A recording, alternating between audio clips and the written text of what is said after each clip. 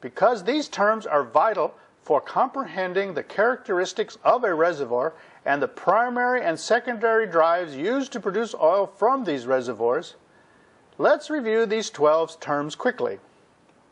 1. A fluid is defined as a substance that takes the shape of its container.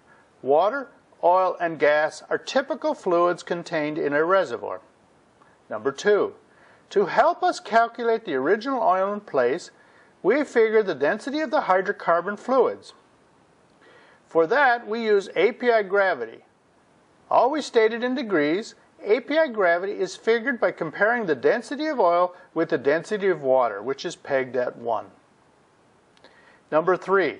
Solution gas is liquefied gas that converts back to gas when pressure is lowered. 4. Critical saturation is the point where the percentage of oil in the fluid is high enough to make a continuous medium, allowing the oil to flow. 5. Bubble point pressure is the exact pressure where solution gas is in equilibrium with gas. 6. The gas cap is the gas that sits at the top of a trapped reservoir after bubble point pressure in the reservoir has been reached. 7. Viscosity, or mu, measures the resistance of flow rate of a fluid because water and different types of oil flow at different rates. 8. Associated gas is found with black oil. Non-associated gas is found by itself without the presence of black oil. 9. Condensate is gas in the reservoir that converts to a liquid at surface atmospheric conditions like steam on a mirror. 10. Formation volume factor, or beta, measures the shrinkage of the volume of the liquid as it moves from the reservoir to the surface. 11. The gas-oil ratio, or GOR, measures the ratio of the volume of gas, SCF, to the volume of oil, STB. 12. The recovery factor, or RF, measures the percentage of oil in the reservoir that can be expected to be produced or recovered from a reservoir with current technology. Please become familiar with these reservoir definitions. As I said earlier, we'll need them to explain the reservoir's fluid systems and their characteristics in the reservoir. Now, it's time to turn our attention to different types of fluid systems in the reservoir. Here we will examine the hydrocarbon classifications of seven types of fluid systems. These classifications are based on the reservoir's mixtures of heaviest and lightest hydrocarbons. We'll start with the heaviest hydrocarbon fluid. It is called bitumen. Now, using what we learned in the definition section, let's examine the characteristics of bitumen. What do we see in slide 1? Looking at its API gravity, we notice that it is very low. Remember that the API gravity for water is 10 degrees, so if a fluid has an API gravity of less than 10 degrees, we call it bitumen. Since bitumen is heavier than water, it will sink. In fact, bitumen is the only hydrocarbon that will not float in water. We also see that bitumen's viscosity, or mu, is very high. This means that its flow rate is very resistive and probably won't flow without heat or other chemicals being applied. Both beta at 1 and RS at 0 indicate there is no solution gas. Bitumen, as you might guess, is used mostly in highway construction. In slide 2, we have the classification for tar, or heavy oil.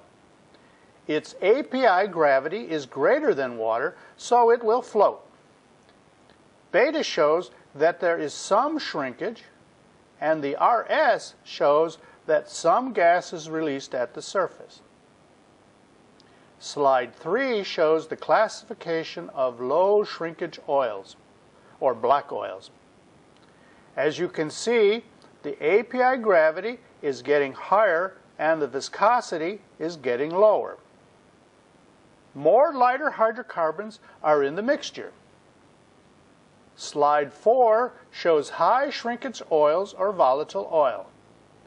As the word volatile implies, this substance can easily change into gas, so its shrinkage is higher and its RS is also higher. A large volume of gas is usually found in volatile oils. Slide 5 shows the classification of retrograde condensate. In the reservoir, condensates are gaseous, but the gas liquefies and the condensates drop out at surface temperatures. In slide 6, wet gas is in a gaseous state in the reservoir, but some condensate, which may include water, will form at the surface. Slide 7 represents the classification of dry gas. Made up mostly of methane, dry gas produces no condensate.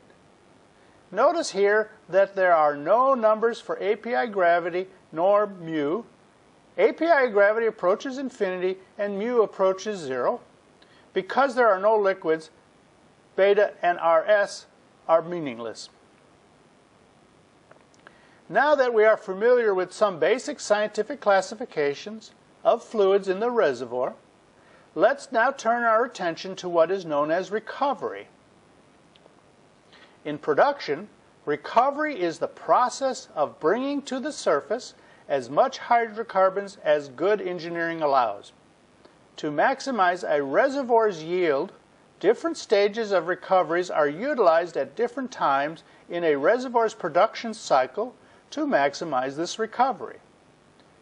Currently, these recoveries can produce approximately 30% to 70% of a reservoir's hydrocarbons. There are three stages. The first is called primary recovery. The second stage is called secondary recovery, and the third is tertiary recovery.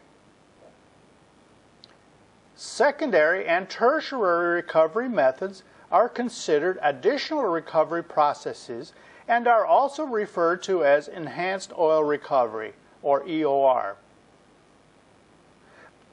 Let me describe the recovery methods in more detail.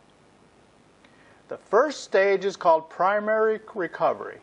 It relies on the energy naturally found in the reservoir. Next is secondary recovery. In this process, various types of man-made energy are added to the reservoir after the reservoir's own natural energy used in primary recovery is used up or depleted. Third is tertiary recovery. Tertiary recovery is the continuation of using various types of man-made energy. To be tertiary, however, another type of energy not used in secondary recovery is used. Secondary or tertiary recovery processes are often referred to as pressure maintenance or enhanced oil recovery in either primary or EOR recovery drives, a source of energy is required to push the oil to the surface. In primary recovery, the energy is supplied by naturally occurring forces that come from within the earth and are referred to as natural energy. There are five major sources of natural energy. They are solution gas drive, water drive, gas cap drive, gravity drainage, and compaction drive. Let me explain. If you remember from our definitions, solution gas is liquid under pressure. When the pressure is released, the volatile gas rushes upward and outward, carrying the oil with it. All of the energy is supplied naturally. Thus, it is referred to as a natural source of energy. Measured in psi, or pressure per square inch, Solution gas is the most common primary drive mechanism and is probably used in over one-third of all reservoirs throughout the world. The recovery factor for solution gas drives is from 5 to 30% with an average of 15 to 17% RF. The energy in a solution gas drive usually is managed in four phases. To better illustrate, let's look at the four phases of a solution gas drive. In phase one, the reservoir pressure rapidly decreases linearly to the bubble point pressure. As you can see from this illustration, pressure starts out as a straight line until it hits the bubble point pressure when bubbles are released from the solution gas. Above this bubble point pressure, there are no bubbles. It's all pure liquid. Phase 2 is when the solution GOR falls below the initial GOR for a period of time. This is because some of the fluid in the solution gas is released into the reservoir as gas forming a gas cap. This trapped gas is prevented from being produced along with the rest of the solution gas as it is pushed to the surface. The gas remaining in the solution gas is the only gas produced, thereby causing this dip. At the point where the reservoir GOR stops falling and once again climbs above the original GOR is when phase 2 ends. In phase 3, critical gas saturation is reached and free gas is produced along with the oil and its remaining solution gas. Gas expansion from the continuing pressure drop is the main drive mechanism and it pushes out the oil. In the later stage of phase 3, the pressure drops rapidly because of the high gas production rate. This means that the reservoir is producing less oil. When the GOR reaches a maximum value, we state that phase 3 has ended. In phase 4, the producing GOR turns downward on the graph the remaining oil has been depleted of its solution gas. It is at this point the production declines to its economic limit. Since there is very limited oil production with low pressure, this well will most likely be abandoned. As you can see in these four stages of a solution gas drive, oil production, reservoir pressure, and the gas-oil ratio all show characteristic changes that can be used to predict the next phase so that the reservoir can be efficiently managed. Because the recovery factor in the reservoir for a solution gas drive is usually between 15 to 17 percent, as I mentioned earlier, solution gas drive reservoirs usually need a secondary recovery method. Being able to anticipate the different phases helps the engineer decide on when to begin preparations for a secondary recovery.